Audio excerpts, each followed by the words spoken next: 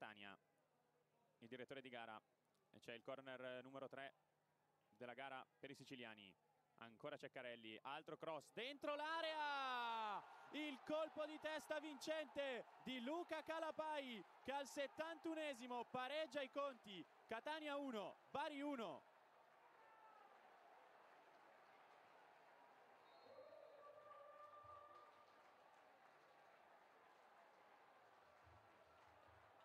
È stato Luca Moro, pardon, a correggere di testa il calcio d'angolo di Ceccarelli e a trovare il palo più lontano. Battuto Frattali